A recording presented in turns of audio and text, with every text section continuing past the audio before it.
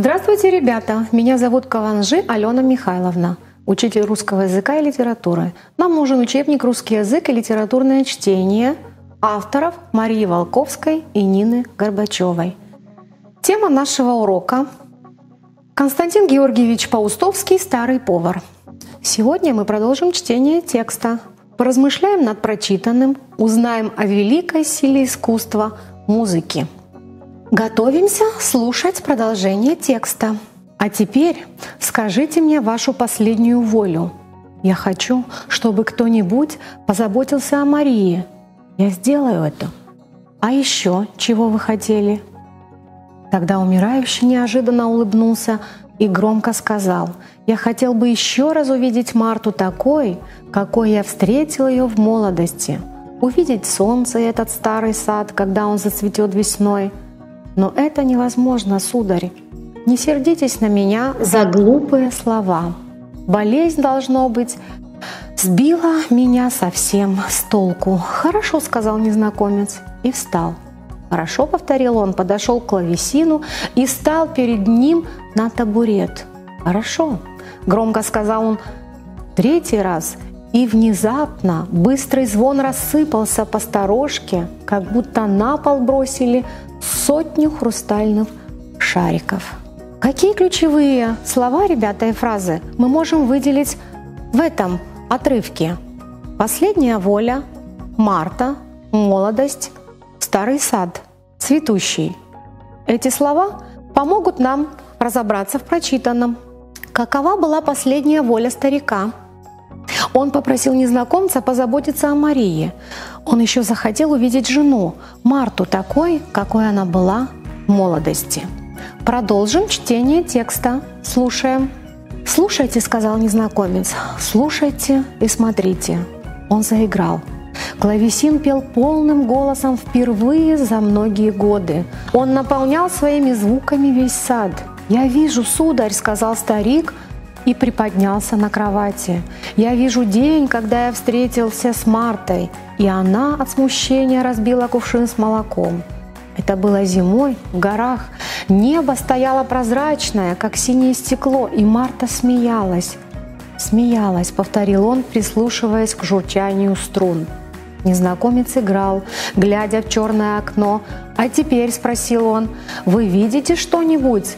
Старик молчал, прислушиваясь. «Неужели вы не видите?» — быстро сказал незнакомец, не переставая играть, что ночь из черной сделалась синей, а потом голубой, и теплый свет уже падает откуда-то сверху, и на старых ветках деревьев распускаются белые цветы. «По-моему, это цветы яблони». «Я вижу все это!» — крикнул старик.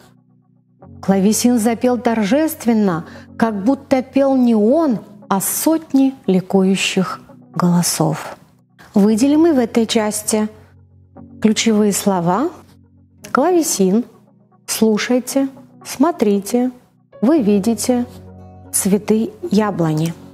Как вы думаете, как незнакомец помог старику вернуться в свое прошлое?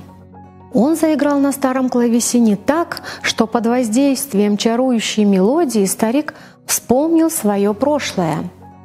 Предлагаю, ребята, разделить рассказ на смысловые части и озаглавить каждую из этих частей.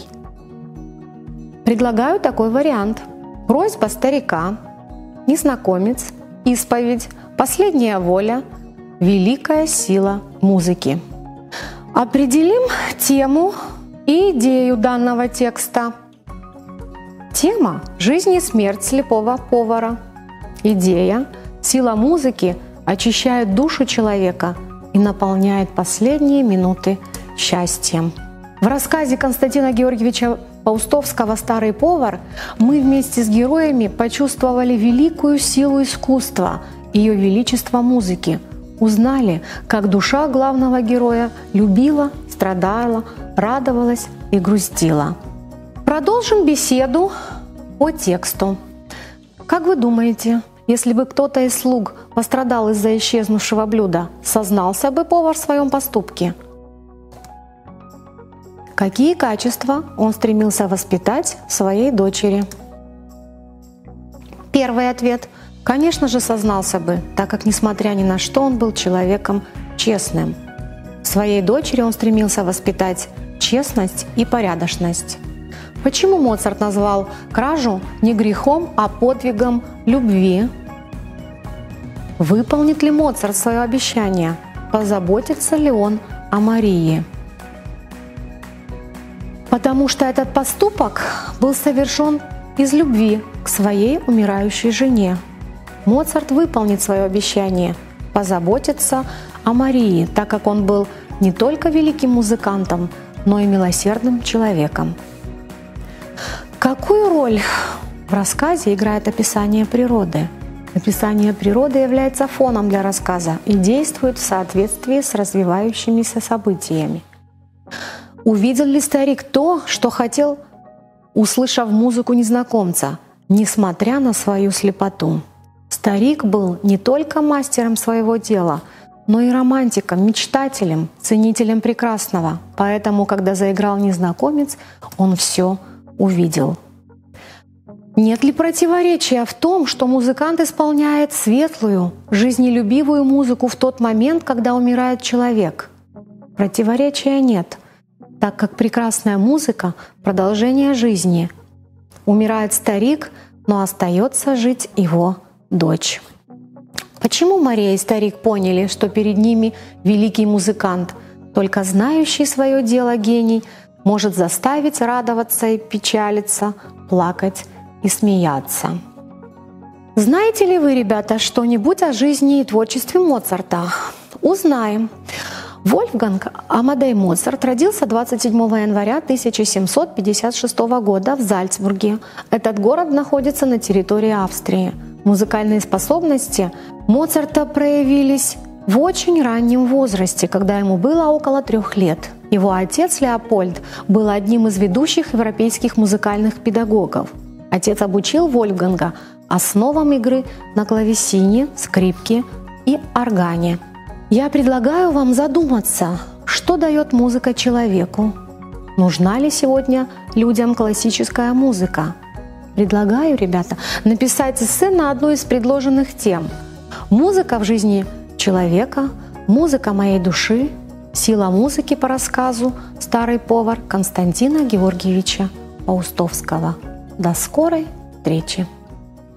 thank